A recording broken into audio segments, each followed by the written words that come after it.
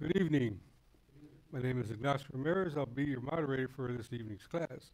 And welcome to Archetype Pattern Workshop. This workshop is not a, not a church or neither affiliated with a church or religious organization. This workshop is a nonprofit, non-denominational, religious, and scientific research organization dedicated to proving the existence of Yahweh or Elohim and the operation of eternal pattern, purpose, and plan operating throughout eternity unto this present day. Now, this, this workshop was established as a result of a divine panoramic vision and revelation given to Henry Clifford Kenley in the state of Ohio in the year 1931. Since that time, there have been schools established throughout the United States, Canada, and certain other foreign countries. Archetype Pattern Workshop was established February 2021. Now, in this workshop, we use to teach by the true and original names and titles for the Heavenly Father, the Word of Son, and the Holy Spirit, which are contained in the original Hebrew text. The true name for the Heavenly Father is Yahweh. It has been improperly substituted by Lord. The true title for the Word of Son is Elohim. It also been improperly substituted by God. And the true name for the Holy Spirit manifested in or out of a physical body is Yahshua. It has been erroneously substituted by Jesus Christ. Lord and God, they are titles and not names. The Apostle Paul, filled with the Holy Spirit, tells us in 1 Corinthians 8 and 5 that there are Lord's many and God's many. We now know that each Lord must have a name, each God must have a name also. Elohim is a title, but unlike Lord and God, Elohim is a divine title. This means that Elohim is the title that our Creator chose for himself. Jesus is a name, but Jesus is an erroneous name. A minor investigation on your part into a good dictionary or encyclopedia would prove that the Hebrew language, the Greek language, nor the Latin language have any characters or letters in their alphabet that would produce a sound that is made by this letter J.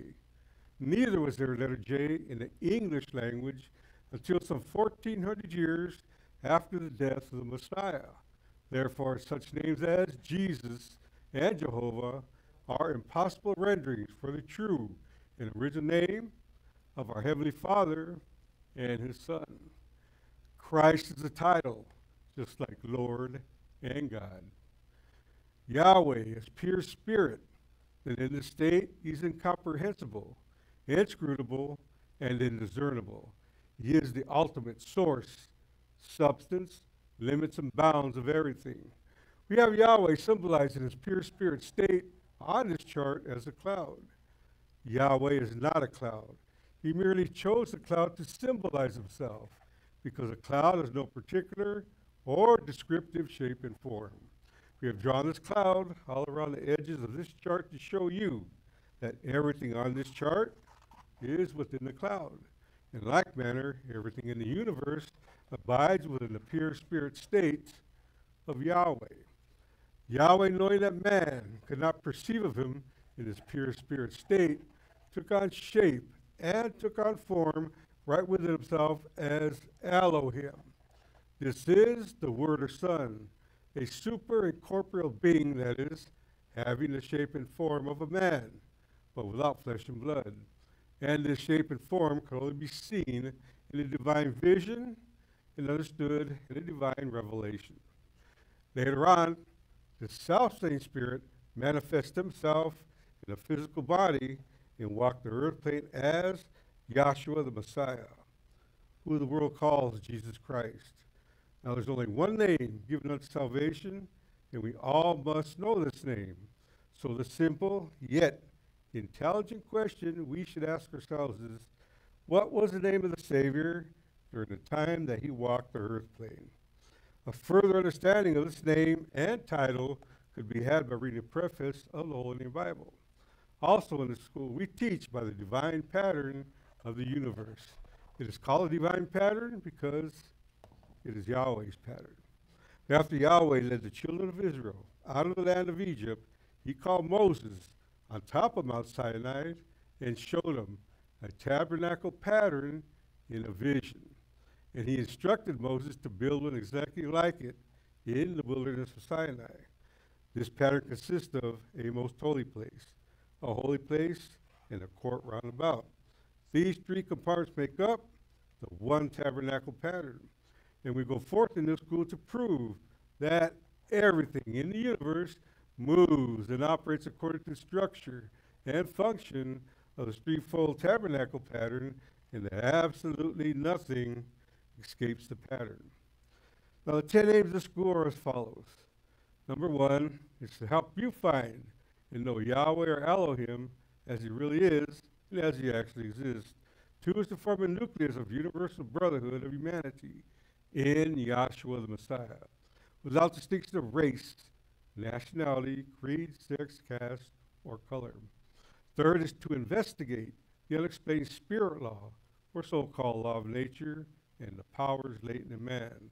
Fourth is to encourage and promote the study of the scriptures, comparative religions, psychology, philosophy, modern, practical, and occult science. Fifth is to extirpate current superstitions, skepticism, and ignorance. Sixth is to learn, know, and understand the operation of Yahweh's eternal purpose through the dispensation and ages. And seventh is to discern and avoid being deceived by Lucifer, the serpent, the dragon, the devil, or Satan and his demons, operating the mystery of iniquity on earth through the dispensation of time. And the is to earnestly contend for the common salvation of faith that was once delivered unto the sons or children of Yahweh. And ninth is to make known that Yahweh, from the beginning ordained, there is no other name given among men whereby man can be saved, save in the name of Yahshua the Messiah. And tenth is to inherit eternal life now in the kingdom of Yahshua the Messiah with the hope of immortal glorification in the newer state. Our watchword is peace. Our slogan is speak the truth. This morning we have prayer by Dr.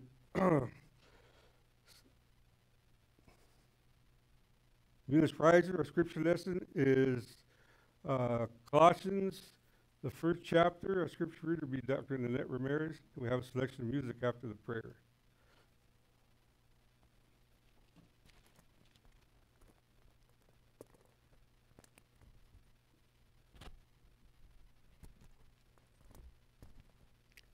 Let us bow our hearts and minds in a moment of prayer.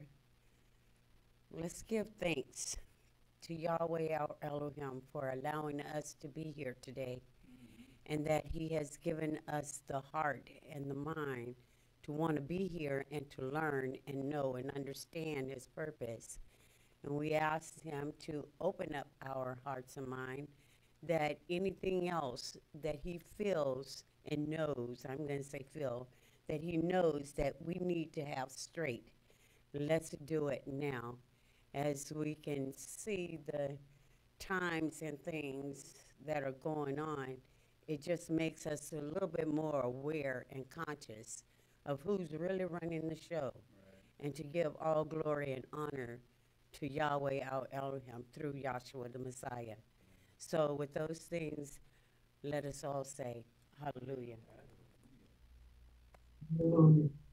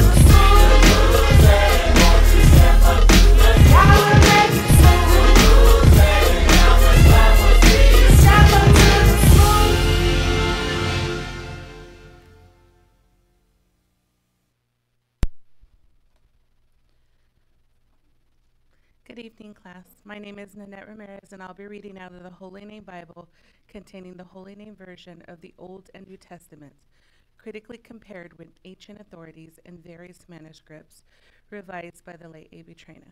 I'll be reading Colossians, the first chapter. Saul, an apostle of Yahshua the Messiah, by the will of Yahweh, and Timothy, our brother, to the sons and faithful brethren in the Messiah which are at Colossus, grace be unto you, and peace from Yahweh our Father and our Savior, Yahshua the Messiah. We give thanks to Yahweh, the Father of our Savior, Yahshua the Messiah, praying always for you.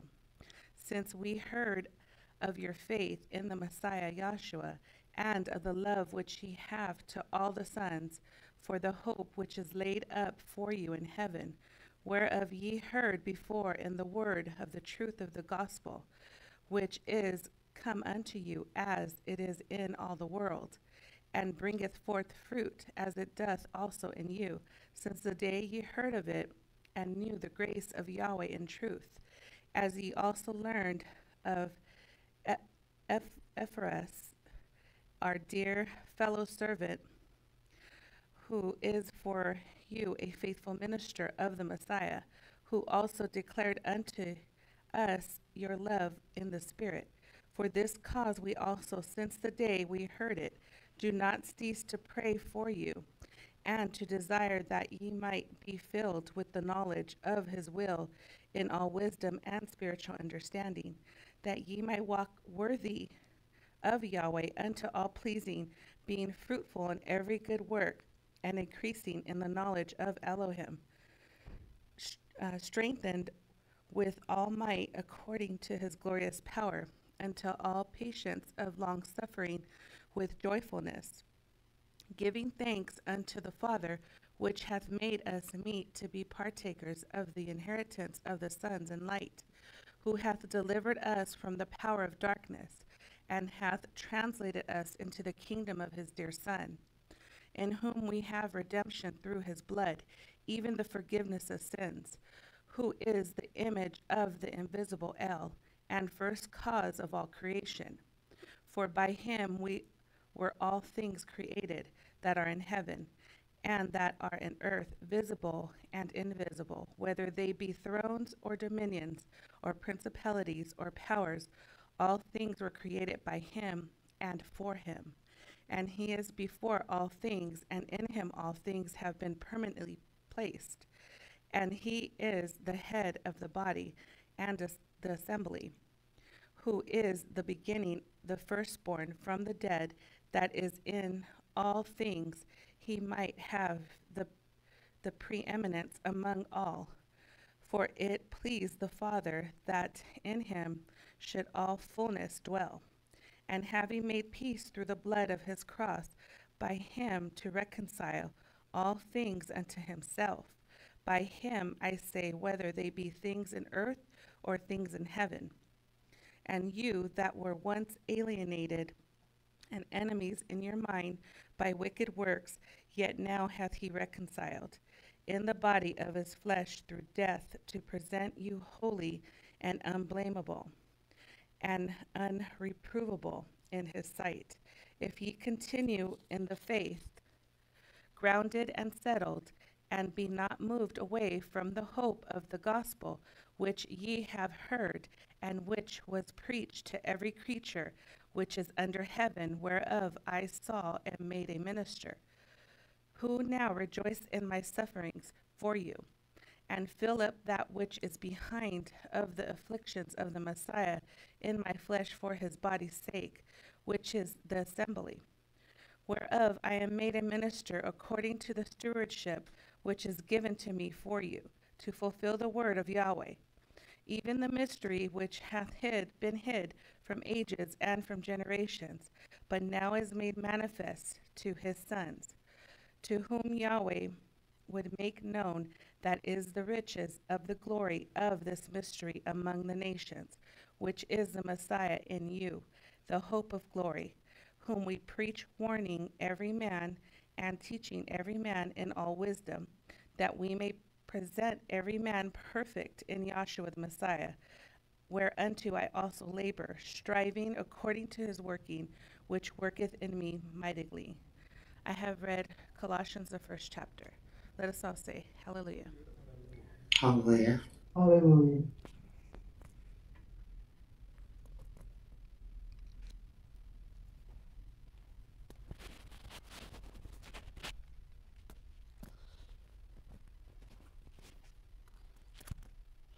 Okay, thank you for that.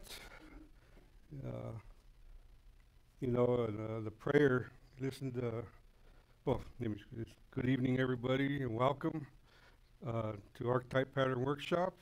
Okay, uh, Will's not here today. He's traveling back east to Chicago to attend a seminar they're having back there.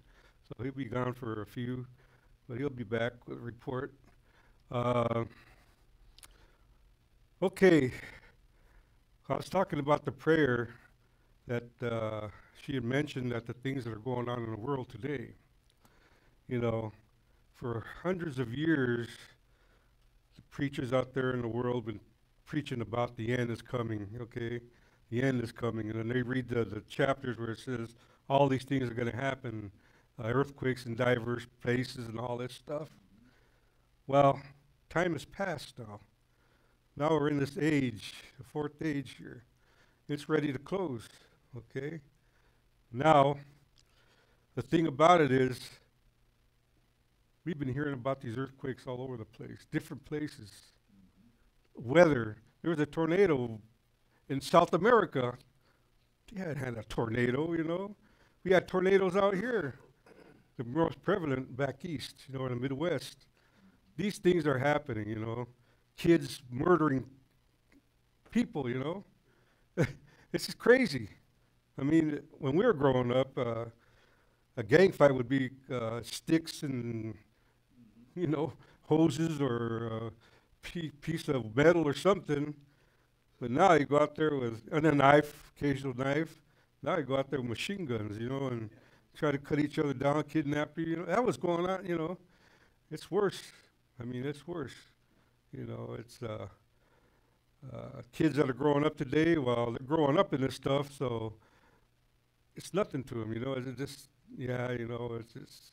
But to us, you know, you don't want to let your kids go out of the door because you know, of this stuff that's going on. But it's just the signs, okay? The signs are going on. It's it's uh, it's it's getting pretty close, as I could say. Uh, also. I'm going to set up a, a foundation, and after that, I'm going to have the next speaker come up, and he can go through his uh, discourse. Okay, but just a little thing that you know, when you hear the, the prayer, you know, that we know time is close. Everybody else is praying for peace and all this stuff. It isn't going to come. Okay, not until after the revelation of Yahshua the Messiah from heaven. Now, in this workshop we stress learning this tabernacle pattern. It's not just a tabernacle pattern, it's a divine tabernacle pattern, meaning it's from heaven or from Yahweh himself. Now, this, this, what we're learning here is the result of a divine panoramic vision and revelation given to this man, H.C. Kenley, in the year 1931. Okay? And if you want to know what the vision is about, look around this class. He, he, he, drew this vision out for us to see. Now, you're not going to understand it until you get a understanding of this pattern here. Okay? And uh, let me say another thing. We use the law and the prophets. Okay? The law being the first five books of the Bible, the prophets being the last 37 Bibles. In other words, from Genesis to, to Numbers, or um, yeah, Numbers and Joshua to Malachi is the prophets. Okay? Now, during that time, the ancient Israelites, okay, used the law, okay, until after they went into the promised land where they had judges and the prophets, then the, those books were written. That's all they had back there from the ancient to the modern times, okay? Now, when the Messiah was walking around, they still had those law and the prophets, okay? And that's what they had to draw from if they wanted, well, the only thing they had was the law, that they were to keep this law, okay? And if they did the law, they would do good, but we find out no one kept the law. They couldn't keep it. You know, it's ten command, ten basic commandments, then you had a multitude of, uh, uh, uh, of, hmm? What do you call them? Statutes and ordinances added on to that. So it's impossible. I mean, if you wake up in the morning and you do something wrong, you broke the law. If you didn't wash your hands, you broke the law. You know, you, it was impossible, okay? But, well, way, what they didn't understand that those things pointed to the Messiah, okay? They're going through it, but they didn't understand what was going on, okay? Until the Messiah came, when he was born 4,000 years later, from Adam to the time that he was born, okay? And what he was doing in his three year ministry was telling him that the law and the prophets pointed to him. Okay? Those things point in it. And when we come into this teaching, that's one of the things we learn what's in the law, what's in the prophets, and how it points to Yahshua the Messiah. Okay? And that everything is going by a divine pattern. Okay? That's one thing. And that's one basic thing that we have to learn. Now, in this divine pattern, we have seven steps. Okay? We also use the migratory pattern, okay, which also it correlates with these seven steps that they went through. Now, this pattern either it's ascending or descending. This is a good example here ascending and descending. Okay, so when you read an event, you, you, you find out where it begins. So you know if you're going by the pattern or, or trying to uh, uh, uh, correlate something, find out where it begins first. That way you could correlate it properly. Okay, so now the first step in this pattern is the gate. Okay, let me mention that there's three uh, uh, uh, compartments here. You got the most holy place, holy place, court roundabout. Okay, and here the gate is the entrance into the court roundabout. There, the, the second step is this brazen altar of sin sacrifice with its four horns in the corner, which the high priest would take the blood of the sacrifice, whatever the sacrifice, and place it with his thumb on each horn. Okay. Now the third step is this brazen laver of water. Okay, it had a little spigot at the bottom so they could drain the water and fill it up with fresh water. That way the high priest could wash himself, and then after they, they washed the sacrifices. Okay, the fourth step is the door, okay, or the first veil. At the door, the high priest stood, and the two low priests stood at the time they're going to officiate after this tabernacle was built. Okay, it took how many weeks to build? 40 weeks. So that's our correlation with four. Okay? So Moses was told to take this cup of holy anointing oil and pour it over the head of, over the heads of the high priest and the two low priests. That was like an uh, uh, uh, uh, anointment so they could administer in this tabernacle. Okay? Now from the door you go into the fifth step, which is the holy place. Everything here is uh, over uh, um, plated with uh, uh, pure gold. Okay, you have the seven branch lampstand. Okay, you have uh, the table, golden table of showbread with a crown around it. So twelve loaves of bread, and you have this altar of uh, uh, um, incense. Okay. Now, what we say here, well, it's also in the in book, the light, the bread, and the intercession. Okay? These three things here, and you have nine principal vessels here. Okay? You got one with the altar, two with the laver, and three with the cup of holy anointing oil. Okay? Here you have the lampstand, table of showbread, and the altar of incense. Now we go to the sixth step. Okay? Is the second veil. There, the high priest would enter three times on the Day of Atonement and present himself before Yahweh. Take the censer and blood and sprinkle it. You have to stand. See in here, it would show these staves sticking out. Okay? And the high priest would go in, his back would never be faced towards this Ark of the Covenant. It'd always be facing to it. So he would go back, feel for the the the, the, um, the staves, and go around them, stand in between the staves, and do what he had to do. Sprinkle the blood, you know, with the censer, and that's a lot to just doing that, and then uh, go in a figure eight. Okay, walk around, and this thing was on like a lazy Susan type of thing where it swiveled. Okay, and he'd walk around and come out the other side. Okay, and if he did everything right, he was allowed to come out. Okay, if not, they had these other instruments that they call flesh hooks, and they go underneath and underneath the, the veil and fish him out of there. Okay, so in the in the seventh step is the most holy place. Okay, And it is a three of one configuration. Okay, you have these two archangels on the mercy seat, or cherubims of glory, they call them, and they're facing look like they're facing towards each other. But if you look at the face here, it looks like they're they're looking into this cloud or looking at this eye. We call it Shekinah. Okay? So on the Day of Atonement, it, the last thing the high priest went put on the, garments of beauty and glory. He did everything he was supposed to do. Okay? The Shekinah would flash. Now here, this all the time in here it was pitch black. Couldn't see nothing. That's the, the glow of the, chur- of, of the of the coals, but it was covered with smoke okay? Until that Shekinah flashed, then the high priest was aware that Yahweh forgave him for that year, and then start a whole new year after he came out, okay? Figure eight, meaning a, a beginning, okay?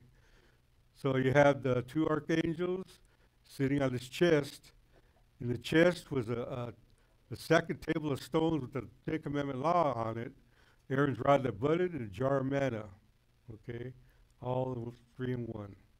Now to correlate it here with the with the correlation for the uh, migration trick, or the greater, more perfect sanctuary, okay, which is angelic uh, uh, uh, creation and the physical creation. The first step is the door or the entrance to the children of Israel's houses. Okay. The second step is they have to take the blood of the sacrifice. If you see the little thing there with the, the blood in it, and you see them striking, you know, you're supposed to be striking it, not rubbing it, like they show in the movie, you know, because it has a it has a principle there. Four points of blood, lentil, two side posts from the basin that they're, they're uh, dipping it from. Now, the third step, they had to take a three day journey to the Red Sea, to and through it. Okay? In order to get there, they followed this phenomenal sight, which was a cloud by day and a pillar of fire by night, which led the children of Israel all the way to the wilderness, all the way into Canaan's land. Okay? Which signified spirit. Okay? So you had at the, at the door was this the Red Sea, just like the tabernacle, you had this cup of holy anointing oil, which signified spirit, which they were anointed to fr- from. Okay, now that that cloud that led them was a type of spirit. Okay, now they end up in the fifth step, which is the holy place. There, you had this this cloud that went on top of Mount Sinai after they led him, which was a pillar of fire by night that led up the whole wilderness where children of Israel were at. Then by day it turned back into a pillar of cloud. Okay. And then uh, the children of Israel got kind of hungry, you know, and he, they started murmuring for food. So Yahweh gave them food. He told Moses he's going to rain down manna for six days, but on the Sabbath there's going to be none. So on the sixth day, they're supposed to take up twice as much to hold them over. So that's when they cook this manna. It cooked it in uh, cakes of bread. Okay, so that's the bread. And then when they had problems, children of Israel, or Moses had to seek an answer, he would go visit Joshua off to the side of the tent of the congregation. Okay? In other words, mediation. That's your principle of mediations. So you had your light, your bread, and your intercession. Okay? Now, the sixth step is the Jordan River. There, when the high priest took the Ark of the Covenant, which they had when they were leaving the wilderness into Canaan's land, uh, uh, the high priest only could move this thing, the ones that are uh, dedicated to it. And uh, when they reached the, the River Jordan, when the high priest, it says that when the high priest touched his toes on the brim of the water, it opened up. And they went on through into the seventh step, which is Canaan's land, or the promised land. There you had this three in one configuration, overlaid with gold and precious jewelry. And it was Solomon's temple. It was told to his father David, King David, how to build this thing. But David couldn't do it. Yahweh wouldn't allow him. So his son Solomon would, would build this temple. Okay? This temple had a porch, a sanctuary, and an oracle. And it looked like a man sitting on a throne.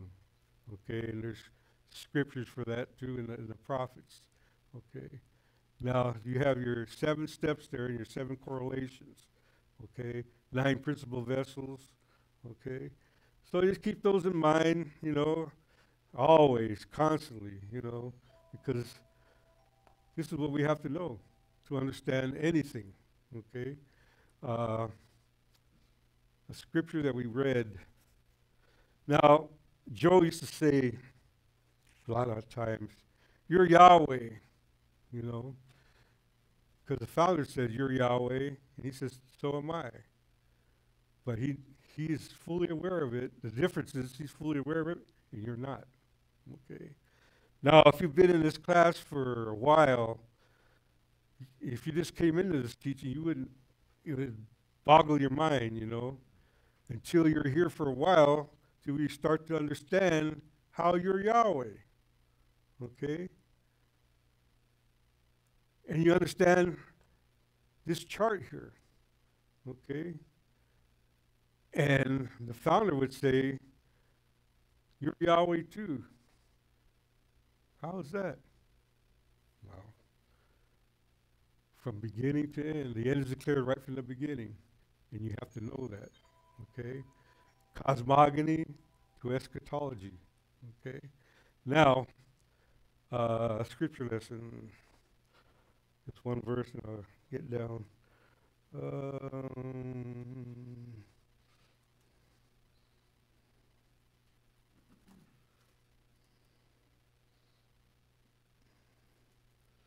let's see.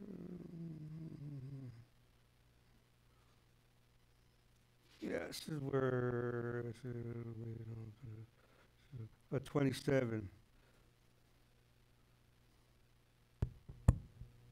Colossians one twenty-seven. Now, let me say, this is Paul after his conversion. Paul was going around thinking he was still under this law here, Moses. This is after the day of Pentecost. He was going around persecuting the brethren, putting them to death and everything. His mindset was in a whole different realm or, or uh, how can you say, state of mind, okay? But after the day, after Yahweh gave him a divine vision and revelation of himself, or Yahshua, his whole thing changed. Now he understood what he was, what he learned about the law and the prophets, okay? And now he's preaching a different thing. And he was preaching to the Gentiles. Go ahead, read uh, 27.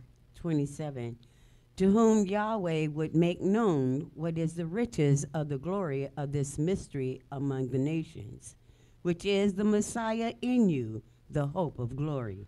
The Messiah in you, or Elohim in you.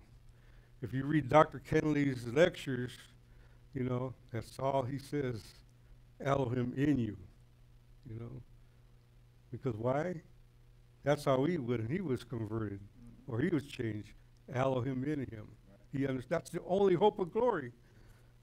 Are you waiting to win the lottery? Winning, I mean, these billion dollar lotteries? I'd rather take this instead of the, the lottery, you know.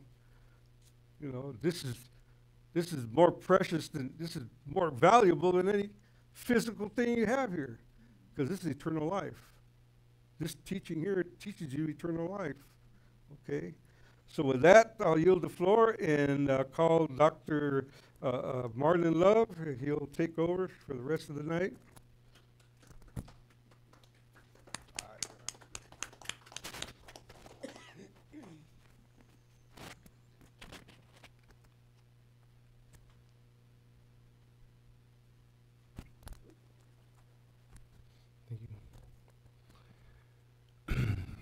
Thank you. Good evening, class. Good evening.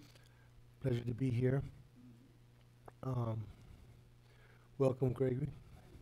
All right. Still stomping around.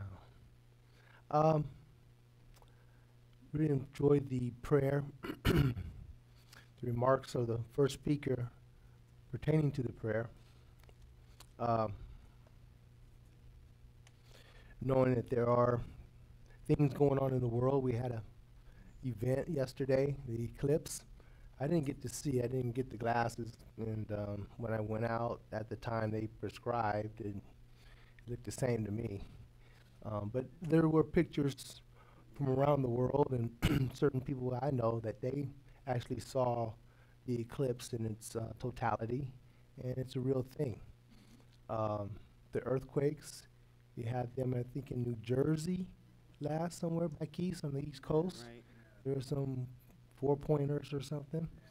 Uh, we know we have our little tremors out here. We haven't had a, a great doozy anytime recently, but we're known to have all those, those uh, earthquakes, and there have been others around the world that have been quite devastating in the sevens and eights and whatnot too. And uh, Yahweh sees after everyone, big or small whether in, in the Americas or around the world, because he's not a partial to who's who, right? And so we having the opportunity to come into this great teaching, as the previous speaker said, um, and as our steward Samuel Solid says, the greatest teaching known to man. If Yahweh allows one to see and perceive the things that come from that. Otherwise, um, it's more information, I'll put it that way, to those who um, listen and see how the previous speaker went through in correlating. they correlate in Christianity and whatnot in their in their way of perceiving how um, these stories or these events down through time uh, correlate with them personally. You see, they're not correlating that of, I need um, John 5 and 39. They're not correlating in a fashion whereby it points out Yahshua the Messiah. And Yahshua the Messiah, mind you, is not God's little boy or Yahweh's little boy. Yahshua the Messiah, who hung on this cross some 2,000 years ago, see, he is spirit. See how we have this name chart set up here? Yahshua is the name that he walked around the Palestinian Judean hills for some 33 and a half years. He did not walk around there as Jesus, Right. the Christ. Right. This is what we're expressing. And the Christianity want the truth, or they mimic as though they want the truth. But that will be the truth. That will be a true statement. And they will agree with that 100%. percent Mm-hmm. But they have a interpretation that now we're on this side of the continent or this side of the world that it subsequently it's changed from Isus Right. Where you get this J deriving from out of the Greek uh, version and coming into uh, this letter J, which wasn't but some 1400 years after Yahshua, the Messiah, died on the cross. You follow? Now, I understand you that he was a physical body. Uh, first, do we have John 539? Right. yeah. John five thirty nine. skip up a few verses because we want those who might be new uh, to see the context by which we read. We don't typically going to just give you a verse and mandate that you believe the verse, because we want you to be able to understand the context of what that verse is really truly saying. Now I want 39, but she's going to start at Thirty-six. at Route 36 Yeah. Because this is John, the Apostle John at this time, writing in the fifth dispensation of time, according to time. Man, everything we touch, you almost have to explain it if anybody might be new. And we don't want anybody to be duped in thinking we're trying to pull a rug over your head. See, this is a chart. It's called the creation that abides within Yahweh or eternity. Because the moderator said that Yahweh chose a cloud to symbolize himself as a cloud. Right. Therefore, we have this orange cloud that's around this chart, just as is around that Moses chart or the uh, migratory pattern chart. You follow? And what this chart is depicting is showing the ages by which Yahweh set up his creation.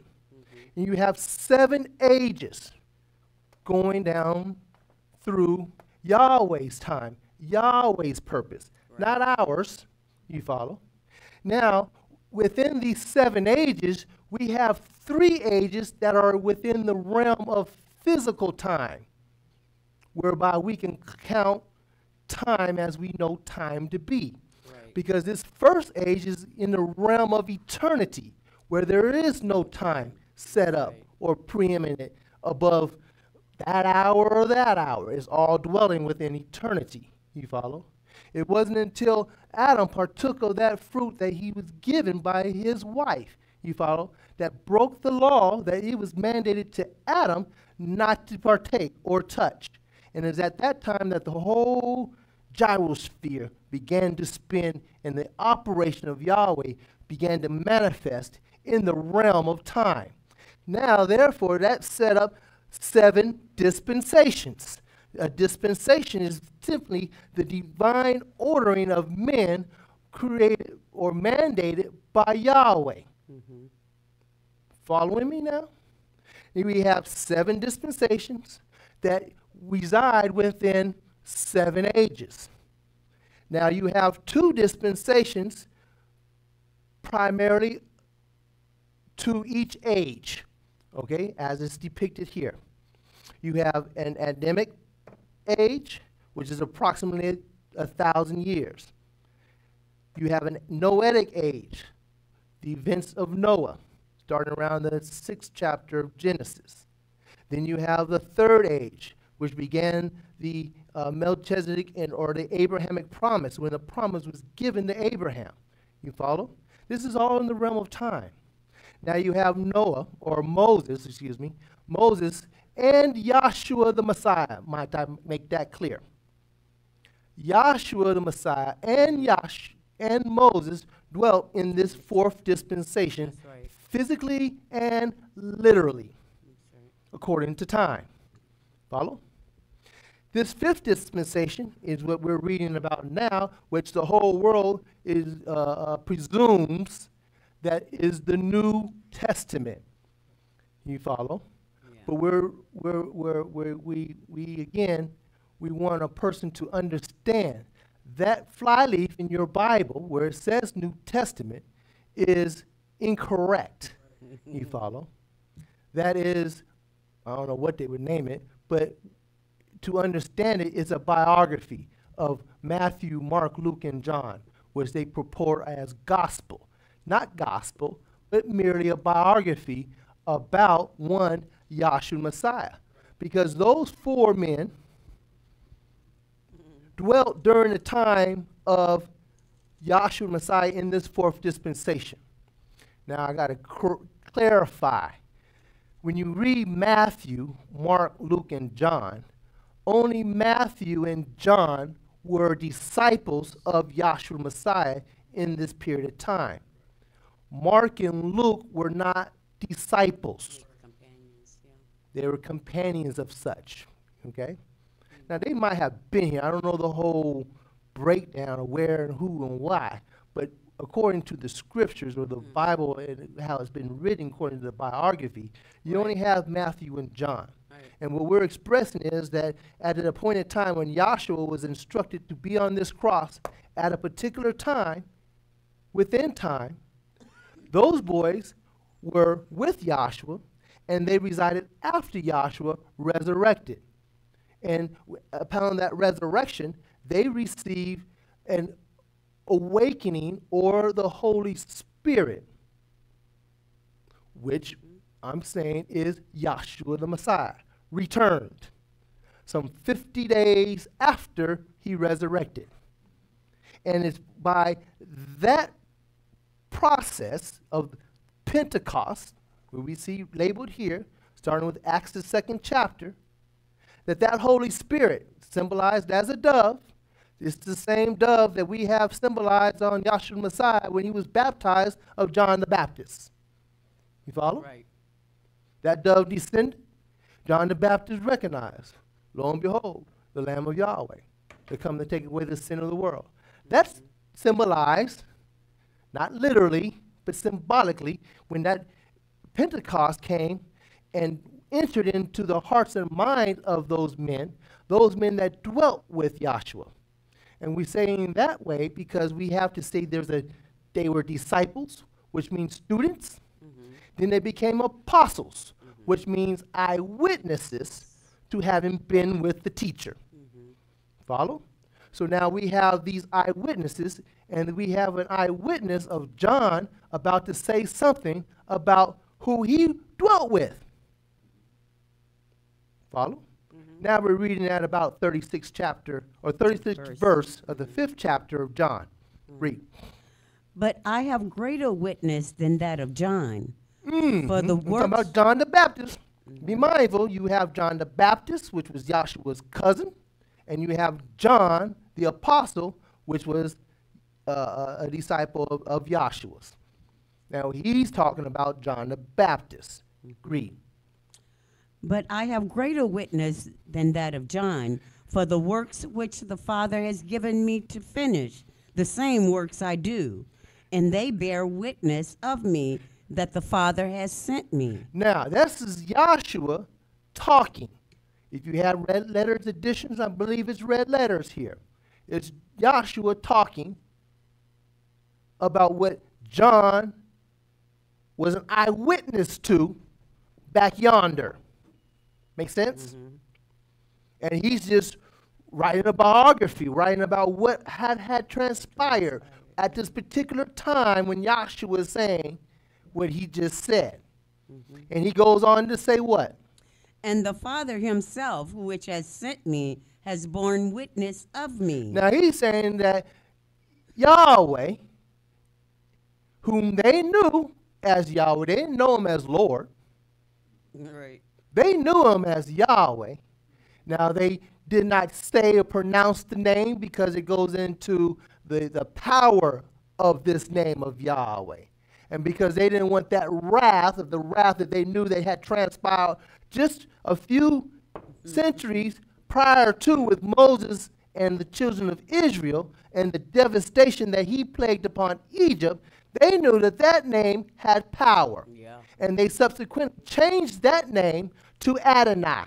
That's another whole conversation when we want to break down the word Yahweh, of how they dissected it, or, or how do you say, uh, um, tampered or, or uh, diluted the all purpose and meaning of Yahweh on purpose, hmm. Yahweh's purpose, and broke it down to Adonai, right? And now we're restoring it, if you would, bringing it back to a known State. state and condition whereby we teach by the true and original name of the Father, which is Yahweh, and the Son, which is Yahshua the Messiah. You see, Elohim is not a name. Right. Elohim is a pluralistic title that Yahweh chose for himself.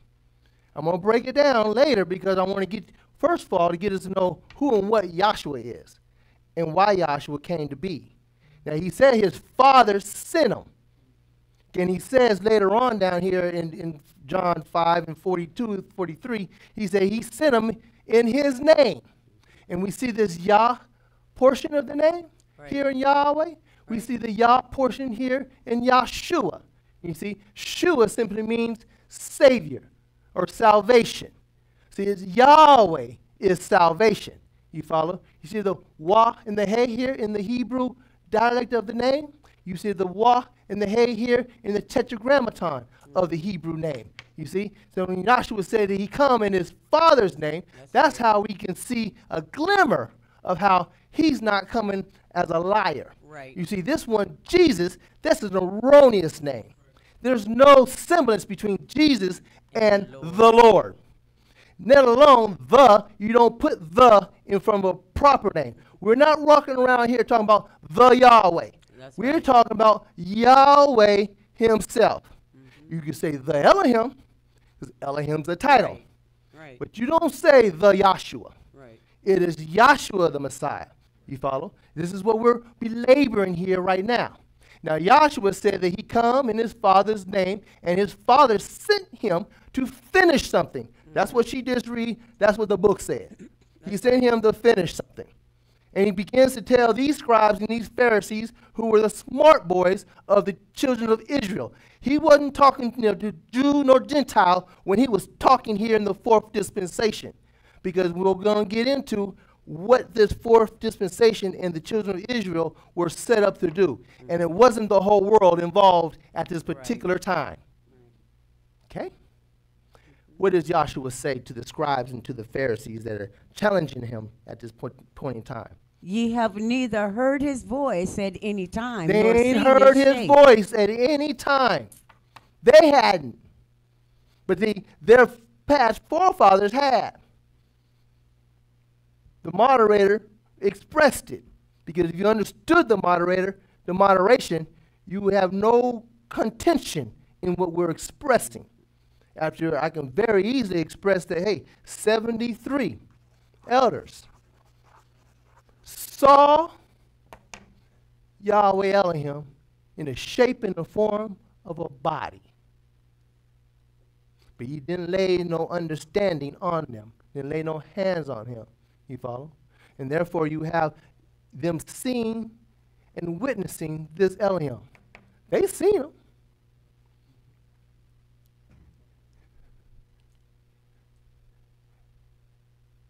And he say that he said, reread what you just said. Ye have neither heard his voice at any time, Mm-hmm. Uh-huh. nor seen his shape, Uh huh. and ye have not his word abiding in you. See, they didn't see or hear Yahweh, but they saw Elohim. His, the, not them who he's talking to specifically there, but the his forefathers, if you would, that came up out of the land of Egypt. They saw Elohim, and their word, and that word wasn't in them then, and it wasn't in them now in this fourth dispensation. And that's why Yahshua was able to make that statement. They didn't have that word in them because it wasn't time yet. You follow? Because we're setting up a, a, a, institution, if you would. He's instituting, or you know, excuse me, he's fulfilling that which they don't they don't know. Put it that way. Keep reading. For whom he had sent him, ye believe not. Don't believe the one that he Yahweh, and they were looking for somebody, mind you. Mm-hmm.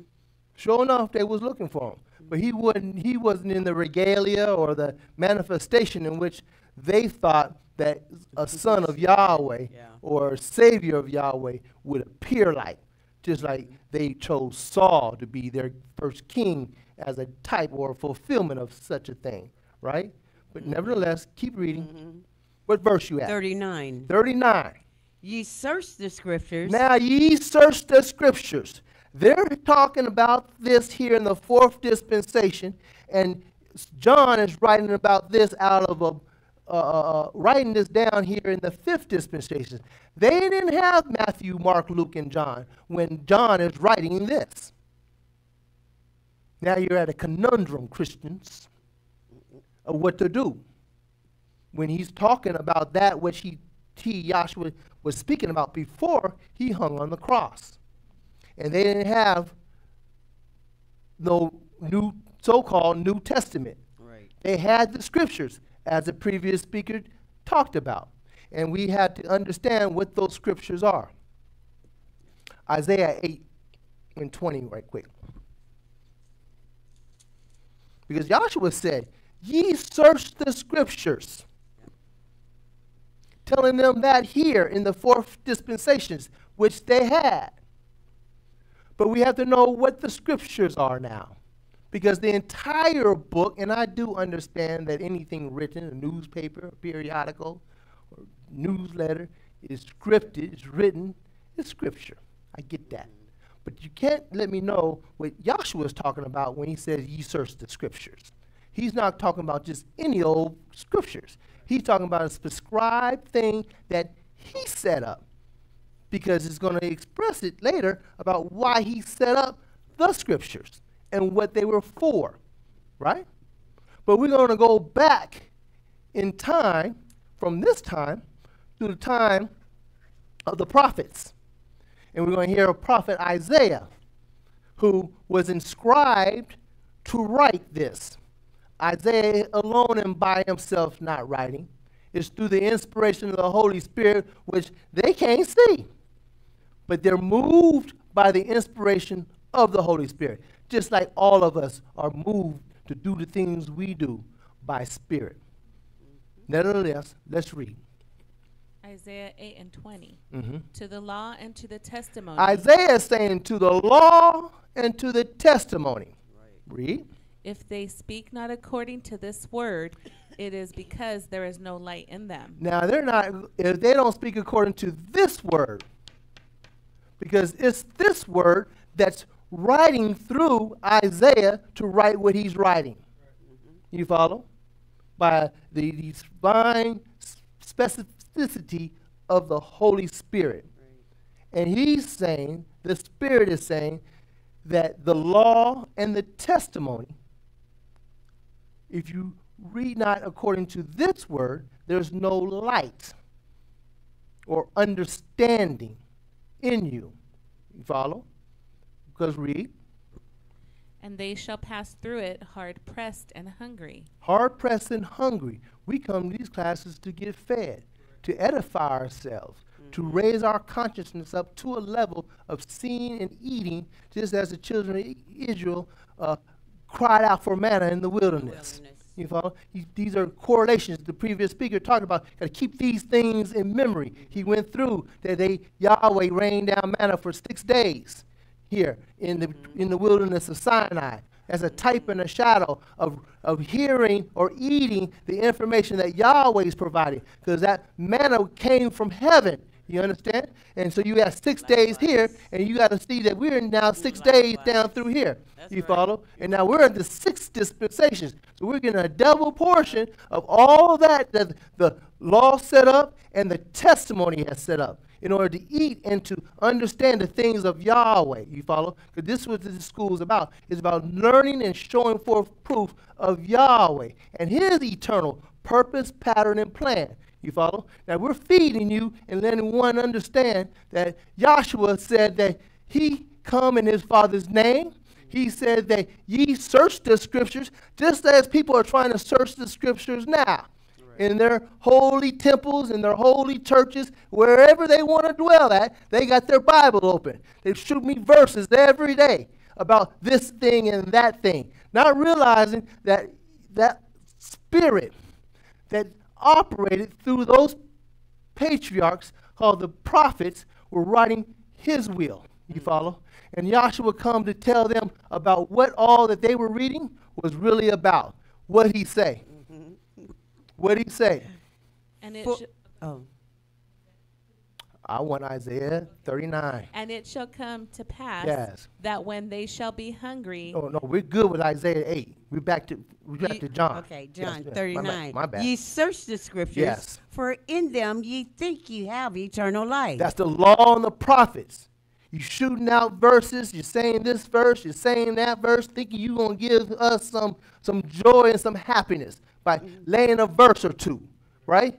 And you searching the scriptures for one thing or another to correlate with your situation. But we're gonna say what Yahshua said those scriptures was about. Keep reading. And they are they which testify They are of me. they, those laws and the prophets or the scriptures are what testify of who? Of Yahshua, of me. Of me. Me, Yahshua, not you. Now become problematic if you believe the report of what John, who was an eyewitness of Yahshua the Messiah, was writing about. And that Ya- Yahshua said that you search the scriptures. And the scriptures, to make it real easy for you, is the Old Testament portion of your book, which many very rarely ever want to dwell to get into mm-hmm. because it's old book. It's mm-hmm. Long-winded names and hard to pronounce this and hard to understand that, right? But yet that's the law and the prophets. The first five books consisting of the law, what Moses wrote, and the subsequent 34 books are what the prophets wrote. You follow? And them together, you follow, comprises of the scriptures that Yahshua was talking about Right. and that they had. That's it. That so-called New Testament, just kick it out for right now. Just kick it out the way for right now. Only thing good for that is to understand as a biography, letting you and I Right. know what had transpired Right. back yonder after the cross. Mm-hmm. You follow? Now we're understanding now, oh, it's about Yahshua. Ain't no J, ain't no Jesus there. It's about Yahshua the Messiah. You follow? Now, we're reading this. Keep reading a little bit more. But ye will not come to me that ye might have life. Mm-hmm. I receive not honor from men, but I know you that ye have not the love of Elohim in you. See, now the love of Elohim or the word in you. Read. I am come in my Father's name, and ye receive me not. Told you it said it in there. He yeah, he come in his father's name, but they didn't want to receive him. Let another come in his own name, Jesus. him ye will receive. Jesus, everybody want to receive it now. Mm -hmm. How can ye believe which receive honor one of another, and seek not the honor that cometh from Elohim only? That is coming from Elohim only. Read. Do not think that I will accuse you to the Father. Okay. There is one that accuseth you, even Moses, in whom ye trust. Now I told you he was back here with Moses in the fourth dispensation. In this period of time. You follow? And those scribes and those Pharisees, they believed Moses. Got got Netflix shows on Moses. Everybody want to di- digest oh, yeah. what Moses went through. And, and even Noah. There's another one on Noah as well. You follow? so. And, and they think they're going to unravel the mysteries of this great Bible, if you would, right? and, and- and they lay things out there and they, they express things that's just not true. Because now Yahshua's saying that, hey, you all believe Moses in whom you trust, but what?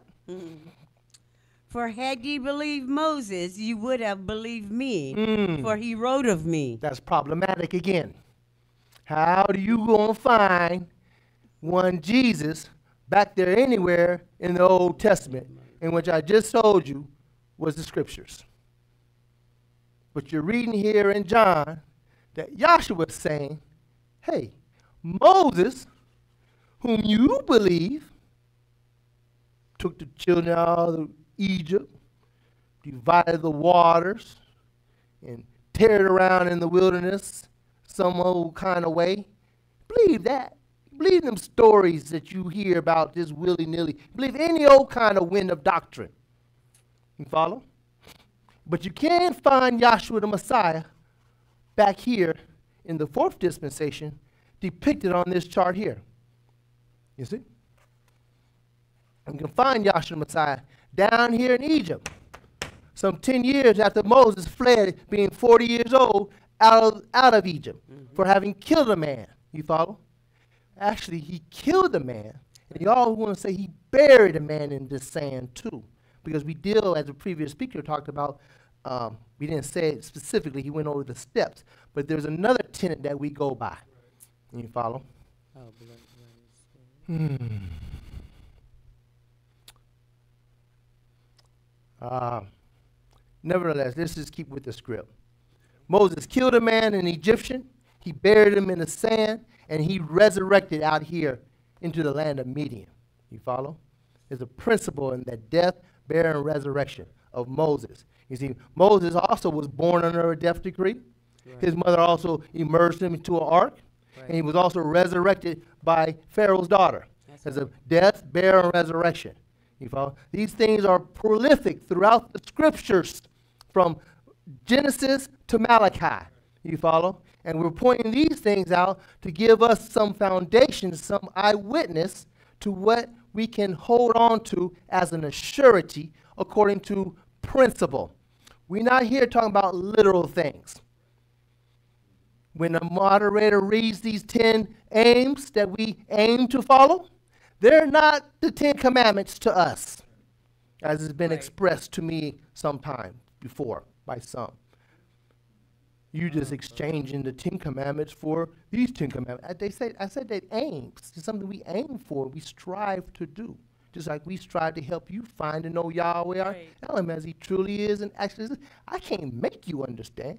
I can only make it. I can only aim to speak and say what I'm saying by the out, hopefully by the Spirit, to illuminate you to see these correlations and principles in order to see how the death, burial, and resurrection uh, of Yahshua works, or the blood, water, spirit works according to this tabernacle pattern. You follow? Maybe, maybe someone don't believe me. 1 Corinthians, the 15th chapter, please.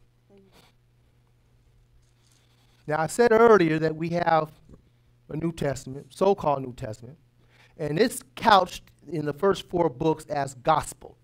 True? Gospel of Matthew, Gospel of Mark, Gospel of Luke, Gospel of John. You run any Christian, they say, follow the gospel. This is what Jesus said, do. That's what they say. Yeah. But as the previous speaker talked about Saul, while he was persecuting the assembly of Yahshua the Messiah, going after them to literally and physically kill, he got Stephen down here, stoned. These guys that stoned him laid their garments at the feet of Saul. That's right. Yeah. Saul was a known killer back in the day. But on that road to Damascus, when he got bumped off his donkey, he had a different revelation. He had a different understanding. He had a full knowledge of the 613 judgment, statutes, and ordinances and the law that was given to the Jews and the Jews alone. That's another tenet that you got to understand. You got to have it revealed to you how those Ten Commandment laws had nothing to do with any other Gentile nation other than these prescribed people that Yahweh, by the hand of Yahweh, brought out of Egypt. That has to be understood, not just believed, understood that when someone laid them Ten Commandment law on you, they're not nothing pertaining to the salvation, Right. your salvation under Yahweh. They are something, but they have to be understood because there's spiritual principles in there. Thou shalt not take the thy name of Yahweh in vain. You best recognize that commandment, as it were. You follow? Nevertheless, let me digress. Now, we're talking about gospels. We want to know what is the gospel. And we want to know why I'm saying a death, a burial, and a resurrection. Let's read what Saul said. I ain't say it. I said Saul said it after Yahshua the Messiah, who was spirit at the time he entered into Saul, to make him see and realize what is truly going on that Yahweh set him up to do, and that Yahweh received him back into glory in order to make this comment. Read 1 Corinthians 15 chapter, start at 1. 1 Corinthians 15 and 1. Moreover, brethren, Moreover, that means he had already said some other stuff that you need to be taking some knowledge of in the 14th chapter, but we're just going to skip through because everybody's like microwave. They want it quick and in a hurry. They just want it. They just want it now. We're talking about gospel now. Read. Moreover, brethren, I declare unto you the gospel oh. which Oh. I preached unto you. Oh, oh, oh, oh. He say, moreover, I declare, I declare that this is the gospel. Does this this say gospels? You got an S on the end of that? You sure? It said glad times, good news. Skip it over to the King James, would you? Oh, there it go. That way, that way we can just show that it say gospel. It don't say gospels. So that just right there disallows, disannuls Matthew, Mark, Luke, and John, and them gospels. Because we dealing with the one true gospel. We dealing with the gospel that was shown unto Saul, who was an eyewitness, who was the apostle, or 12th apostle that replaced Judas when Judas took Yahshua or sold Yahshua uh, unto the Pharisees. You follow? It's that Saul or Saul that is speaking now, right? And he's saying gospel that he already shared with them. Not everybody, just them Jews in, Cor- in Corinthian, in Corinth. And he tells them what was the gospel. I ain't say it, but I believe it. Hook, line, and sinker. Read.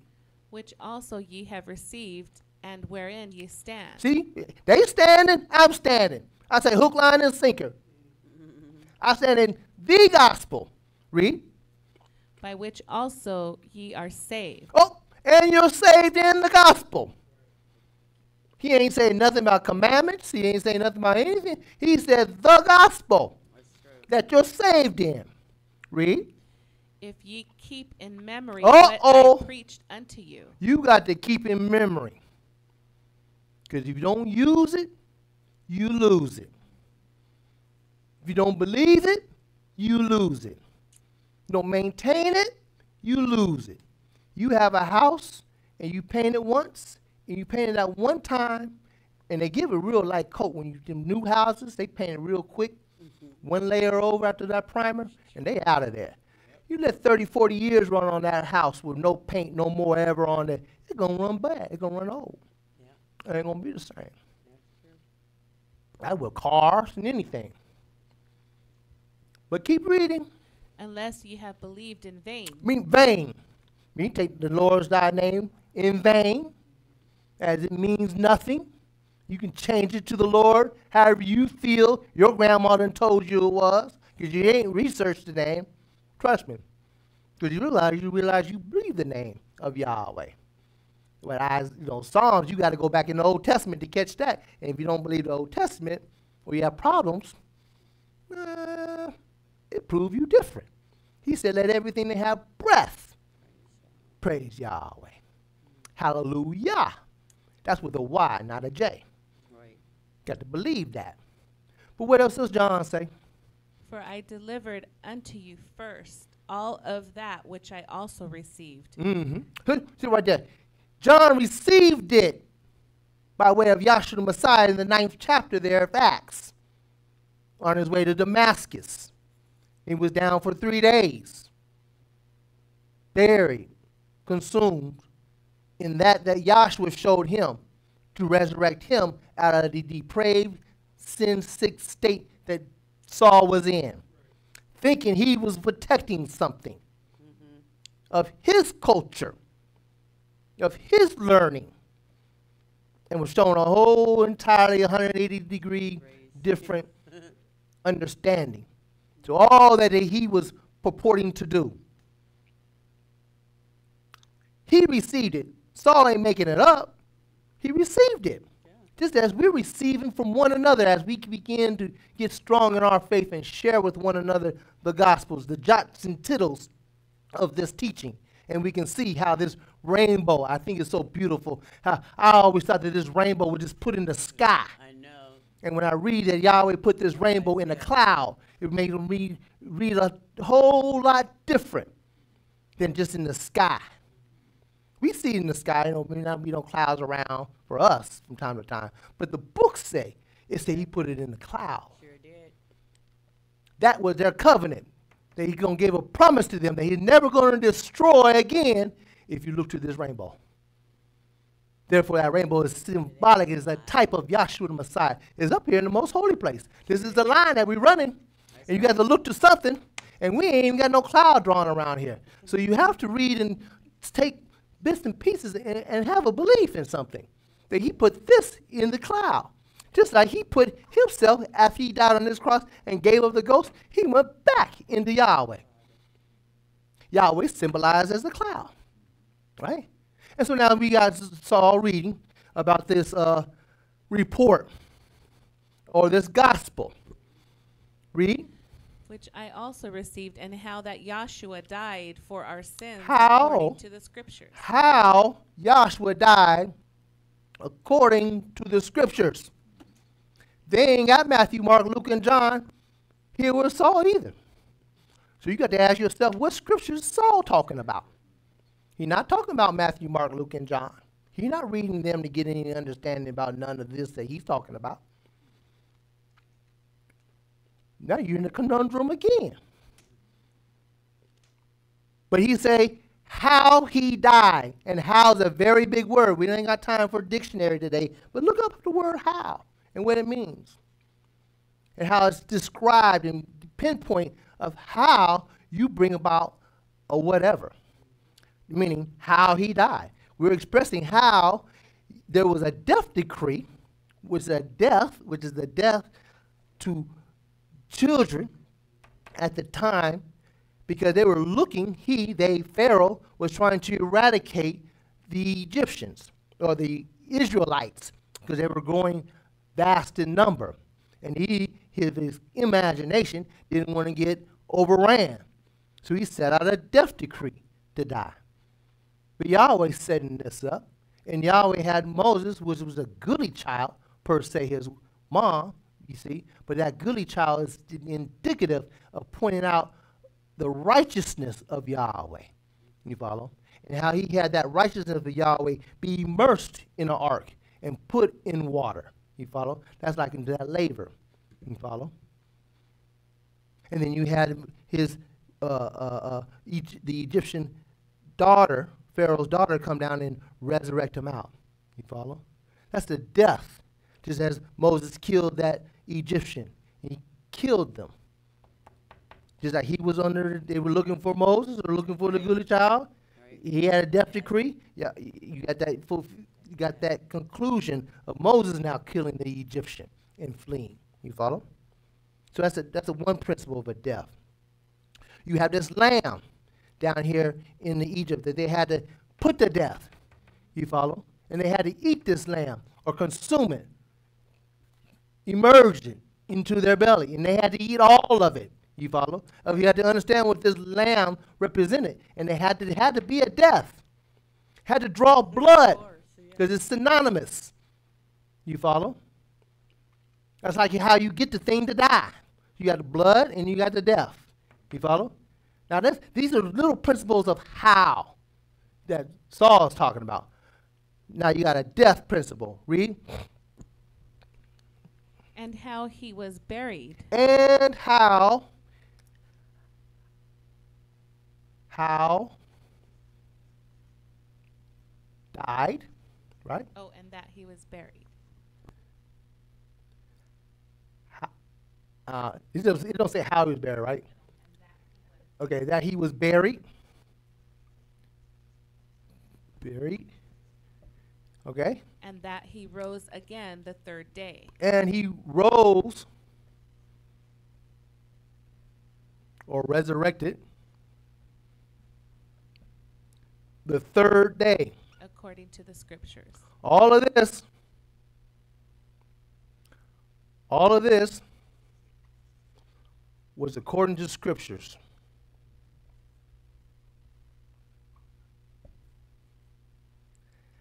That's the gospel.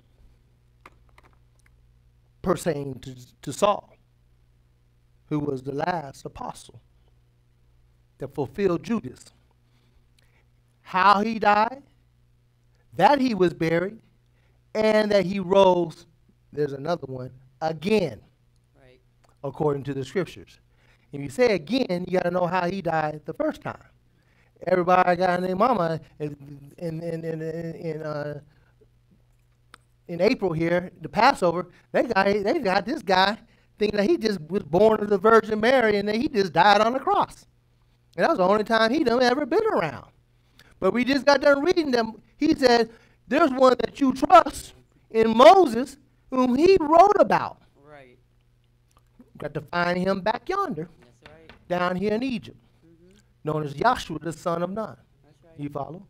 And if you understand that there's no J and it couldn't have been Jesus, then you ought to understand that it couldn't have been no Joshua. It had to be Yahshua that was down here. You see? Now,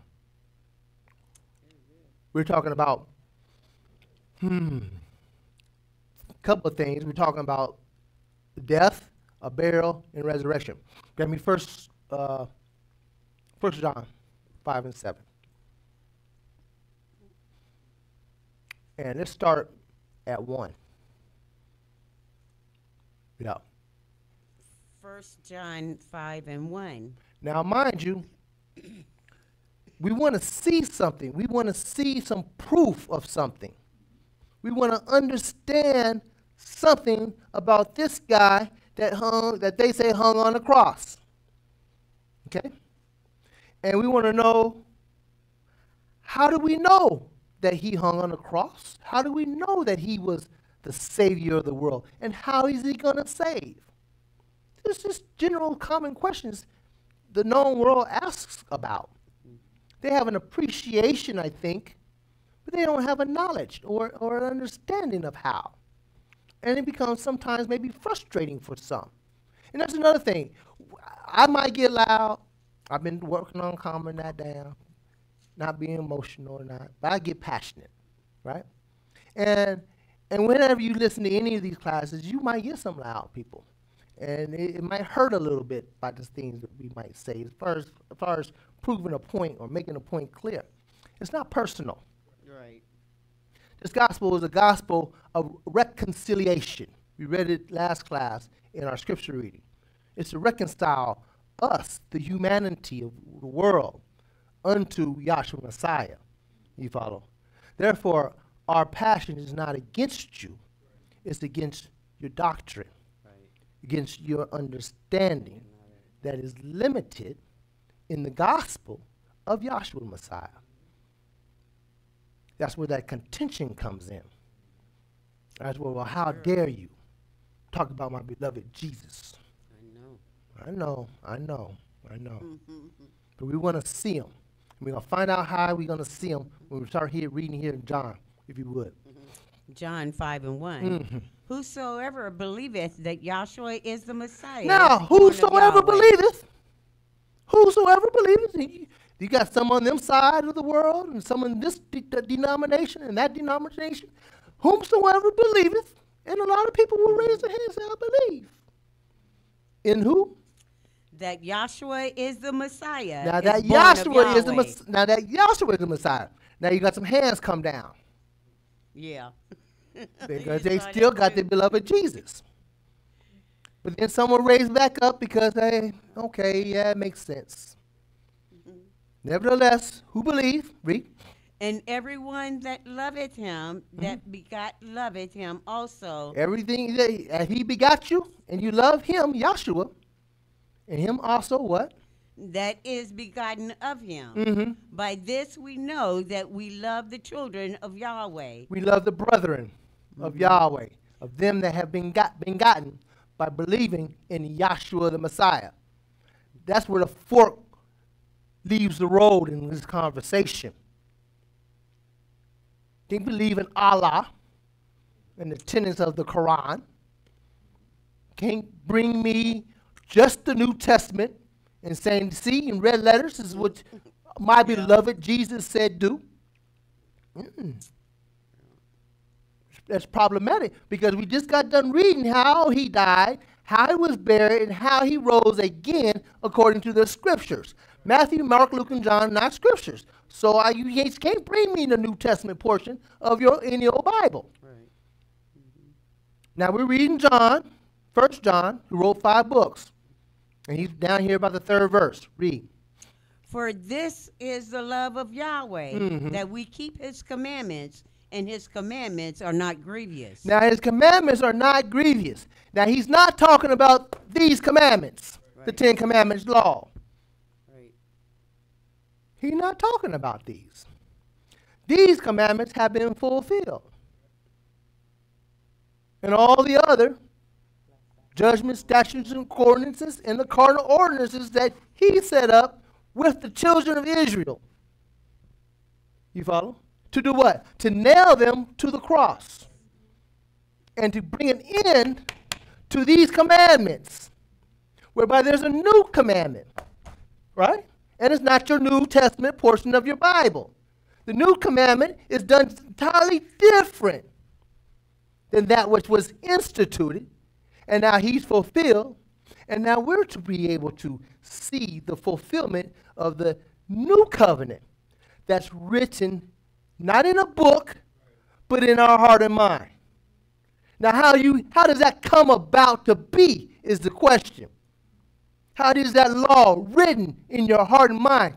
Because it talks about the foolishness of the preaching the gospel. Might it be delivered or begotten of Yahweh? To see the light of what all of this was for. To come to a conclusion. Mm-hmm. To stand and not waver and not wonder about, well, th- th- those, those, those they, they have such pretty garments down there in, in beautiful Africa. How could it just be so bad and so wrong? And they such nice people down there when I went and visited them. And they, they don't understand. Carnal is carnal, spiritual is spiritual. That. Yahweh say he's speaking to spiritual things to spiritual people. Mm-hmm. Everybody else just don't know. It's not a problem. Know, Like we say, we're not mad if you don't. It's Yahweh's purpose. that's right. Yahweh set up the ages and the dispensations, not me. Mm-hmm. But we're expressing the things that John is talking about. And he's using this plate right here. Because this is John and what we're going to read about and we're going to talk about. Because these charts are pictorial illustrations of what's written in your Bible. Huh? All the way from Genesis to Revelations. We have Revelations down right about yonder. You follow? Mm-hmm. So we got the whole book side up, but we got to take it piecemeal. Right. You follow? And we got to be able to break it down as this is called the elementary chart. I think everybody around here might have went to elementary school. I don't think nobody too smart.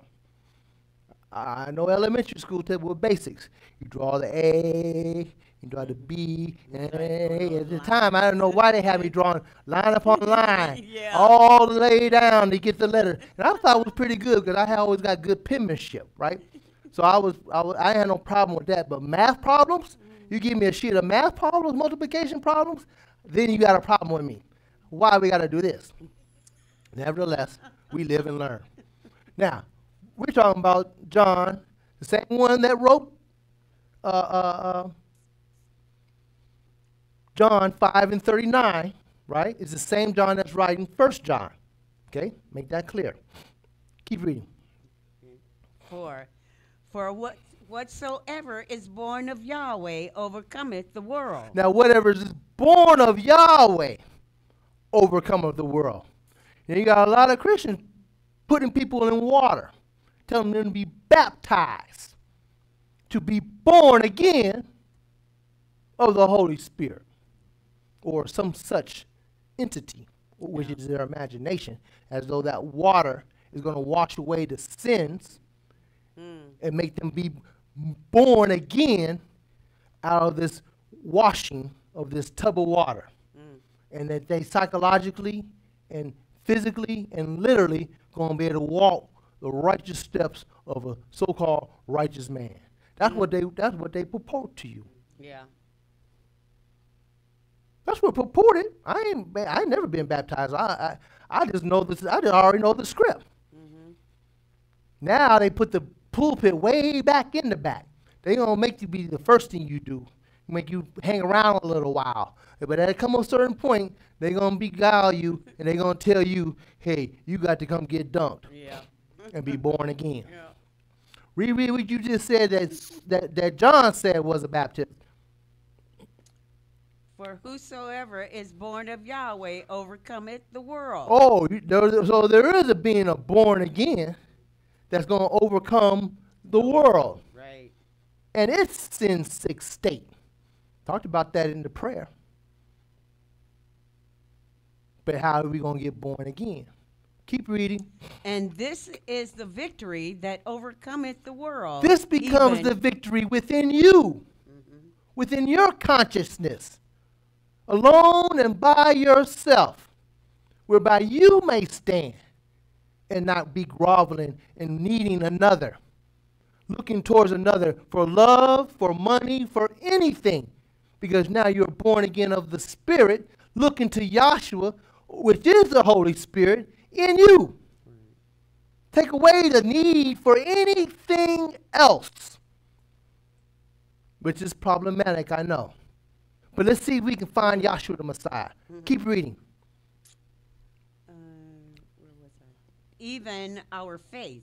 Even our faith, which is, read, Who is he that overcometh the world? But he that believeth that Yahshua is the Son of Yahweh. There's so much right there. This right there in itself, it, it makes it plain that you ain't got a faith. Yahshua is the Your faith. That's right. I'll go for that. At least you know Yahshua. Your faith is hid. Hid from you. But yet, if it see Yahshua, then he said, "We read again. Who is he that overcometh the world? But he that believeth that Yahshua is the Son of Yahweh. that he is the son of Yahweh. I'm not gonna run back over to that name chart because we banged on how Yahshua is the son. He come in his father's name. He's saying it here. And all those that took him before the cross didn't believe that. And now that we believe that Yahshua is the son of Yahweh, and even deeper to that, we'll bang on that for a minute too, that he is Yahweh. Read. This is he that came by water and blood. Yeah, he came by water and blood, read, just like you Right. came by water and blood. When you came out of your mother's loins, read. Yahshua the Messiah, Mm-hmm. not by water only, but by water and blood. But by water and blood. and it is the Spirit that beareth witness, because the Spirit is true. Now, we're talking about spirit. Spirit is true. Not what they tell you, how they want to trump you up to get you to do something antiquated. Following these commandments, however you want to piecemeal them together, is antiquated. We ain't got candles up here. Candle worshiping, frog worshiping, or whatever you want to worship, man pleasing, all of that is under carnal ordinances but it's by the Spirit which is true. Mm-hmm. Therefore, we got to start seeing something that is spirit, because our first aim is to help you find and know Yahweh, our Elohim, as He truly is and actually exists. Because you can't see Yahweh with your physical, natural eyes. You have to perceive, because He knew when mankind wasn't going to be able to perceive Him in His pure spirit state, He had to take on a shape and form. You follow? Now, mind you, this. Hmm. I'm not gonna tap. I'm not gonna tap with it. I'm not gonna tap with it. I'm not gonna tap with it. I'm gonna touch on it though. The first speaker talked about this tabernacle, and you got to come into some kind of knowledge about this tabernacle, right? Mm-hmm. Because this is on the elementary chart. Right. We don't have Elohim, the third plate of that tabernacle chart, on this chart. What we have here is a tabernacle on this chart whereby we can correlate and line up things according to what Yahweh set up. You follow? So therefore, we have to see the operation and the function of this tabernacle first, huh? Then we can come and see Elohim as he truly is and actually exists. Because mind you, they saw Elohim, but his hands are closed here. True? Yeah. They didn't see, and this this chart a little bit tricky. if you're not really keen on it, first time here, mind you, we have this outline in white. It's just showing you that they saw Elohim and Elohim alone. They didn't see the tabernacle. Follow? Mm-hmm. They didn't see the tabernacle. Mm-hmm. Follow? They only saw Elohim. And they did eat and drink, but he didn't lay hands on them. True? True. That wrapped them up. Boop. That brought Moses and Joshua, or Joshua, truly, up yonder to see. Right? Now it's Moses that saw this Elohistic spirit. This is spirit without flesh and blood. See, he came in without flesh and blood here, right? Here he came in with flesh and blood. We just read it. You come in by flesh and blood. Right. Huh? This one ain't come in by flesh and blood. That's right. He just transmuted in a shape and a form of Elohim. This is a manifested portion that can be perceived or understand by a rev- by a vision. Thank you. By vision. They're having a vision of Elohim. Huh? And they didn't understand this vision because they was told to wait. Right. Now, if they understood it, they would have waited, have known that this was the Elohim that led us up out of Egypt, and now we're going to stand and do all he say do. Mm-hmm. Because he know that he got Moses. They not thinking like that. They thinking like you and I be thinking. Mm-hmm. Get the hell up out here. This fiery cloud up here. Moses and walked with Joshua up in here. And they ain't no really know who Joshua was being Moses' minister and all of that. And they just gone up into this spot. Mm-hmm. And there for a little while longer than they can bear their stomach. Then they come on back down, breaking the law. Mm-hmm. Follow? Ignorant of this. See, but then Moses saw this transform into this. Huh? And then he sees the days of the creation, pattern after this tabernacle pattern. And he sees this for seven days, and then subsequently he's shown all the operation and the workings and the furnishing and the structures of this tabernacle. Then he had to come back down and, and give them this stone that was given here, this first covenant. Now it's symbolic that he broke this one because it's the same one that represents this Ten Commandment law that was given to the children of Israel, which they broke continuously. And nobody could uh, uh, maintain the Ten Commandment law, as the previous speaker said. They all came up short. You follow? It wasn't until Yahshua, when he came down here to be baptized of John the Baptist, when John asked him, You have any sins to be uh, uh, expressed or committed to? He said, No. And John the Baptist said, Well, whew, I need to be baptized of you. If you had, because Yahshua said he come to fulfill. He's letting them know there in Matthew the third chapter that he, John, to suffer it. Suffer it right now. Let it be. Because it behooves us to fulfill mm-hmm. or to take away these things that I've instituted. You follow? Therefore, now that tabernacle has to be known about Yeah, I do. first. Thus, on the 40 plate chart, you have plate number one as one. Can't roll up in here talking about Elohim and you ain't seen nothing based off the divine pattern. Here, he said it was a divine pattern. wasn't mm-hmm. just any old pattern or art or sanctuary. It was a divine pattern. It's a pattern of, of heavenly things that points out Yahshua or Elohim here in this state and condition. You follow? Therefore, we're going to roll right over here and continue reading First John. Now that we got that touched on, read. Seven. Uh. For there are three that bear record in heaven. Now we're bringing in your Trinities, Trinitarians that they want to be called themselves, right? yeah. Mm. the Lord, of the, the Holy Spirit, and the Son. Because you're writing it here in the King James because you, you, we know they, uh, the AB training not digging this, uh, this verse here, these two verses here.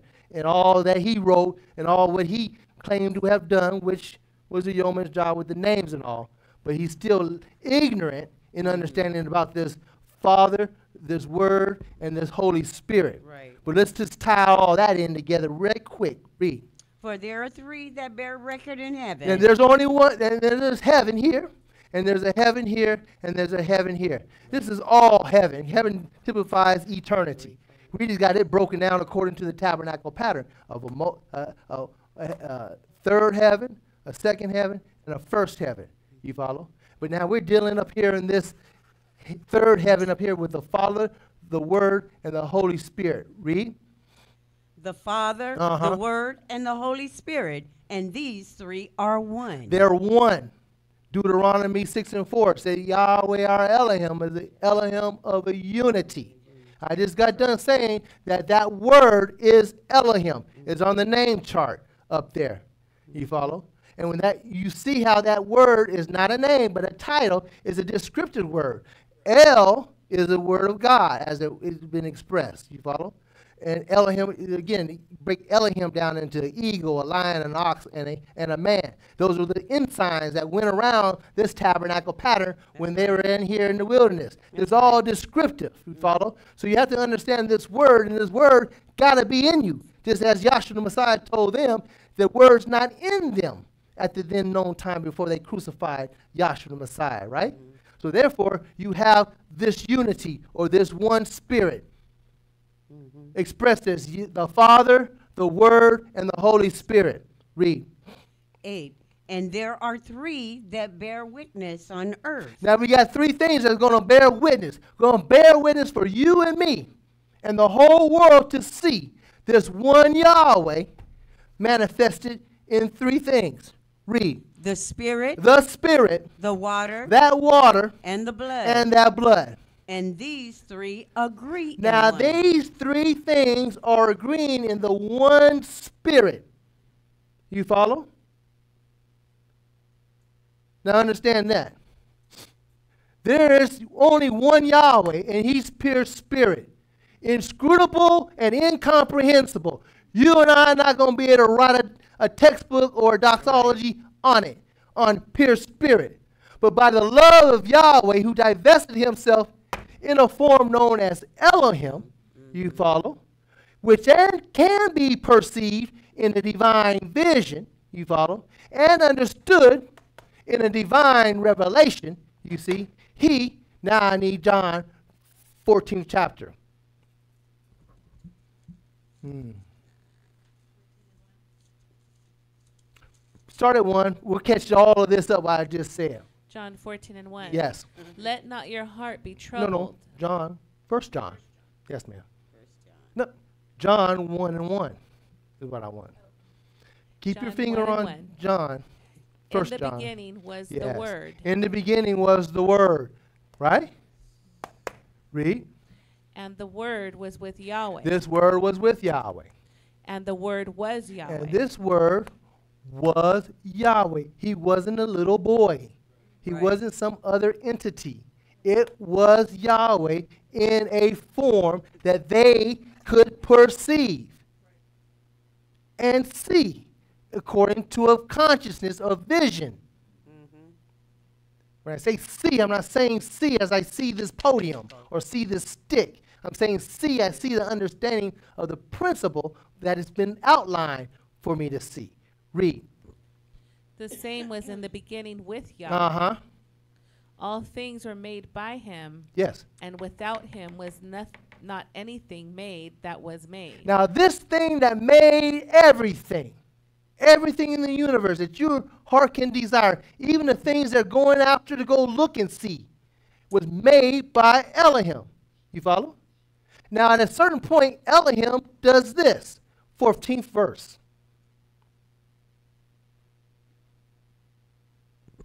And the Word was made And the word, this word was made what? flesh Was made flesh. Read.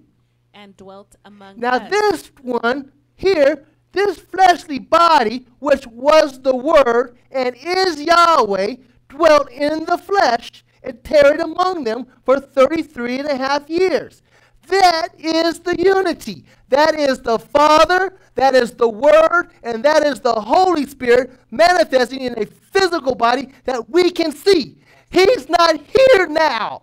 I'm not walking with Yahshua Messiah way back yonder, but he left us a witness to see him by, and that's the Spirit, the water, and the blood. And we can see these things lined up according to principles, line upon line. Isaiah 28, 9 and 10.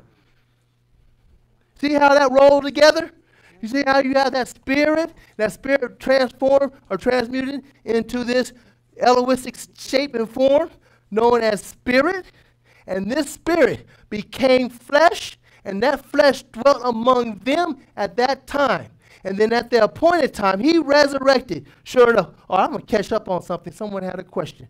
Uh, so, Isaiah 28, 9. yeah, 28, 9, and 10. I'll come back and catch that. Whom shall he teach knowledge, and whom shall he make to understand doctrine? I didn't under, I didn't know none of this. It has been shown to me and taught to me under the tutelage of many teachers, beautiful teachers. You follow? Sitting in the chair or wherever I was at or whatever I read, it was by the grace of Yahweh to allow me to see a little bit of what He's expressed to me that keeps me stand fast in what I profess. You follow? You keep reading. Them that are weaned from the milk Uh-huh. and drawn from the breast. Yes. For precept must be upon precept. precept upon precept. That's what's eternal. That's what's continuous. That's what's eternal. This blood or this death is eternal. You follow? Or precept. This water is likened to a burial, is continuous. And this spirit is likened to a principle of seeing the invisible spirit operating. You follow? Read. Line upon line, line upon line. Now, these lines that run through here, all the way through this bloodline of the death of Yahshua Messiah, of the death of that sacrifice and the blood on this altar, four points here, four points here. You have that death of this lamb down here in Egypt, right? You have four points that would put it on this door as a pre struck on this door as the previous speaker talked about. You have Noah who preached to the four corners of the world. You follow? Now, you, you have that water principle running all the way down through every one of these charts where you see the continuity of what's happening with this these witnesses. That's what, and I'm not talking New Testament up here. Right. I'm talking that Old Testament from Adam all the way down to one Yahshua the Messiah. Now we can use these same principles of the Spirit, the water, and the blood down here after the death, burial, and resurrection. How so? Now I want to get, oh my goodness, Second Peter, first chapter. Wonder when he said he went back and preached to the captives in hell. And on Easter, I don't think it was this Sunday, right? It was the Sunday before last we talked about Yahshua Messiah and how he had he was taken out early on Friday morning, picked up after Judas um, sold him out. You follow? Picked up that night. They brought him out in the morning, Friday morning. You follow? Put him on this cross Friday morning about nine-ish. You follow? And we talked about how he hung on that cross until the noontime. You follow? and you have them out here on this cross at noon, and then it went dark from the sixth hour to the ninth hour, or from 12 o'clock to 3 o'clock. You see? And we talked about how Yahweh considered a day as a night, in a, in a, a day and a night. You follow? Consider a day. And so we have that early morning. It went from light to twilight. That's one day. It went from uh, it went from light to dark at 12 to night and went to 3 o'clock and then became light again. You follow? That's two days, according to Yahweh's principle purpose, and then went dark again. You follow? That's two days on that Friday. Then he was taken off that cross early or late in the day on Friday and put in Joseph's new tomb before the start of the day. Now we're talking about a Sabbath day. Now we're talking about a thing, we're talking about a burial. You follow? We had him at his death, it went dark. Now he had to be buried in Joseph's new tomb. True? And it's this new tomb that he stayed in all day on Saturday. Now, what did he go and do all day on Saturday? Preach to the captives. Where's that at? Uh, First Peter three nineteen. Now we're reading 1 Peter 3:19. Start up about 15 or 16. 16. Having a good conscience that, whereas they speak evil of you as Mm-hmm. of evildoers, they may be ashamed that falsely accuse your good behavior. Now this is Peter talking to his peoples. Peter writing, Peter being an apostle. Peter had walked around with Yahshua for three and a half years during his time in his ministry. And he's expressing to them. Is it there? Yeah. Okay. Yeah. So you have them you have Peter expressing to them about their good deeds of being under the, the confines of the way, because that's what it was called back then. Under the way of Yahshua the Messiah. Those of the way, you follow? That's who Saul was persecuting. You follow? And Peter is expressing this. Read. For it is better if the will of Yahweh be so that ye suffer for well doing than for evil doing. That's what we do. We suffer many things to come do good things to feed the flock of Yahweh. Read. For the Messiah also has once suffered for sin. Now we know that he suffered a hellacious, hellacious death on this cross. Don't think anybody will want to raise their hand and do it. I don't think But what did he do? Read. The just for the unjust, Uh-huh. that he might bring us to Yahweh. He gonna bring all of us now to Yahweh, having an opportunity to hear this great teaching and believe in this great Yahweh and His work through His Son Yahshua the Messiah. Because mind you, you just can't hop, skip the fence and jump up into the most holy place and kick it with Yahweh. You got to come through His Son Yahshua the Messiah. So say Yahshua. And He said, "Come, take my yoke upon me and learn of me, for my burden is light." Read.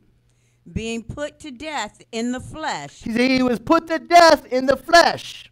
Just like this lamb was put to death in the flesh. That's why you have this cross here and you have this lamb here. Okay? He came down into the flesh. Just like he came down or appeared in Egypt. You follow? Read. but quickened by the Spirit, Now he's quickened by the Spirit. Read. By which also he preached unto the spirits in prison. Now that's what he did while he was in uh, on Saturday. He preached to the prisoners that were in prison. Those all from Adam through Noah, Enoch, Melchizedek, everybody preaching and preaching. Those who died in the faith. Job, who Job professed that he said he'll see his day. Well, that's the day. Within those within those three days, he's preaching to those captives of hell. Keep reading. which formerly were disobedient. See, they were disobedient. They didn't know until he came back and preached to them, just like Saul had to get pre- preached to on his way to Damascus. Just like Saul said he was preached to to be able to tell you what the gospel was. Just like we're being preached to and have been preached to by Joe Williams, by by by Rip Macklin, by all those that still yet hear, gone or otherwise preach the gospel. Mm-hmm. Agree? When the long suffering of Yahweh was waiting in the days of Noah. See, way back yonder, he's preaching to them way back yonder in the days of Noah, waiting for them. Read.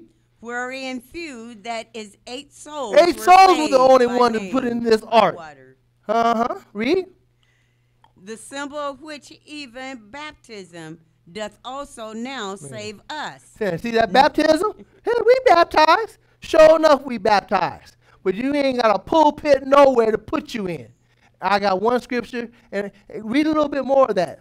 Not the putting away of the filth of the flesh, That's these carnal ordinances. That's the filth of the flesh.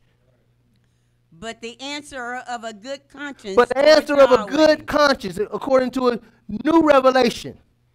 Read. By the resurrection of Yahshua the Messiah. in you. He, he rose a quickening spirit. He didn't go back into a fleshly body. He resurrected out of that tomb on that third day, a quickening spirit, and he remained a spirit, no more to die. That's why when you come into a true understanding of your Savior, Yahshua the Messiah, you no more die, lest you forget, lest you put down, unless you deny that which has been preached and spoken to you. Last chapter of Colossians, the first chapter of Colossians, last few verses, and my time will be expired. God, I love first chapter of Colossians, one twenty-six, somewhere around about there. even the mystery See, we talking about a mystery here through these things. Uh huh. which has been hid It's been hid ages. for ages. See, these are the ages that they've been hid for, from, from everybody. You follow? Mm-hmm. This is the righteousness of Yahweh, right? Dividing the word of truth. You follow? Who set these periods of time up for us to reflect upon and look back at and make a, a sound decision. Read. and from generations, but now is made manifest See, to his son. see, it's been now. It's been manifest through those sons that preach the gospel of Yahshua the Messiah. Read.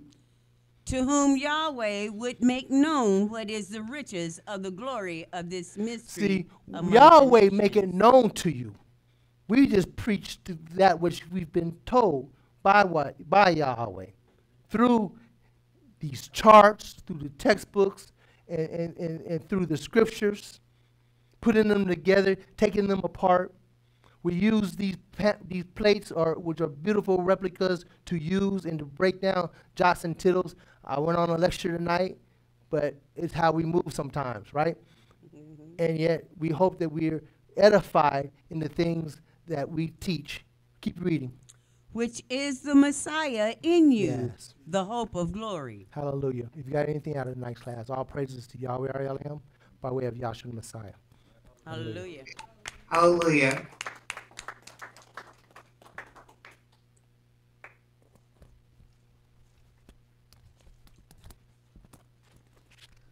All righty, thank you for that, Brother Marlin.